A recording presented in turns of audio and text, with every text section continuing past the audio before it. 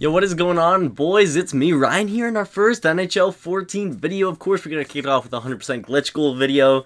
Uh, so here it is. In the last game, this was called the like you Bear Claw or something. You found it in the demo last year. And I was like, I'll try to get it again this year. And guess what? It works 100% of the time, basically. So that is pretty cool. I'm just kidding. Like, it, it actually sucks. Um, I don't even know. Like, it, I just don't like it. Uh, to be honest, this is my first opinion of the game.